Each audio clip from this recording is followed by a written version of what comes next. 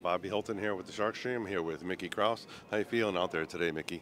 I feel good. I, as always, love the tables. Uh, love that it's tight table, tight pockets. Uh, it really makes it like a game, like something you have to fight for.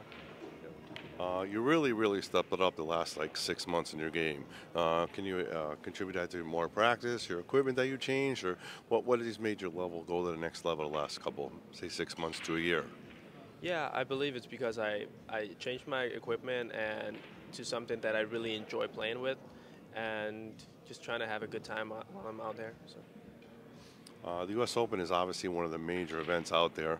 Uh, it's one of your favorite events to play in, or what? What are the other? What's your? What's your? If you had one event that you could win, which one would it be? Of course, World Championship. Um, but I always thought about uh, Mosconi Cup as well. Um, that's always been an event I wanted to win uh, with a team because it's different. Like we're individual players always playing, and and I just think it's a cool environment to be in, and it looks amazing on TV. So nice. This is your year, right? I mean, I hope so, but it's difficult because there's so many good players, and in, in like if there's just a couple of players that's gonna win, it's gonna be difficult to make it on the team. So I'm just gonna do my best and hope for for. Awesome. Uh, and besides pool, what is your biggest passion besides billiards?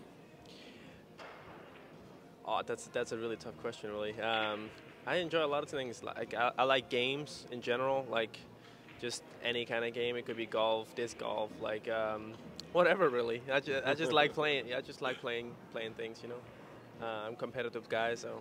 Nice, something. Uh, last thing is uh, that match last uh, last couple days with uh, Federer and Shane. What'd you think about that?